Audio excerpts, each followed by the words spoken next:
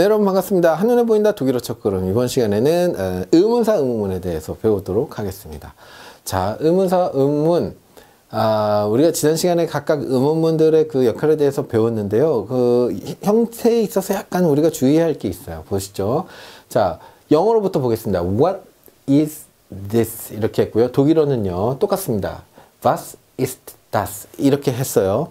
자, 무슨 얘기냐면 의문사 의문문도요. 의문문이기 때문에 의문사 이후에 뭐 들어간다고요? 동사 주어 어순입니다. 모든 의문문은 동사 주어 어순이고요. 그렇죠? 그래서 의문사가 들어가도 역시 동사 주어 어순이다. 그냥 그 얘기입니다. 자, 그런데 이제부터 이게 시작이죠.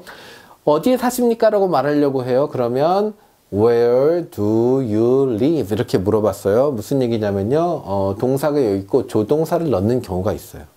영어의 경우는 그렇습니다. 왜 그랬냐면 얘는 어, 조동사도 아니고 비동사도 아니고 일반 동사이기 때문에 앞에 뭔가 하나 넣어줘야겠어. 그래서 where도 이렇게 해야지 뭔가 편안해져. 이렇게 해서 완충작용으로 조동사를 앞에 넣습니다.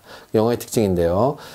독일어는 어떻게 하냐면 그딴 거 필요 없어. 무조건 그냥 wohnen Sie 이렇게 합니다. 이게 무슨 얘기냐면 무조건 의문사를 만들기 위해 조동사 같은 걸 넣는 그런 이상한 격식행위 따위는 안 한다. 그냥 의문사, 동사, 주어 이렇게 한다는 겁니다.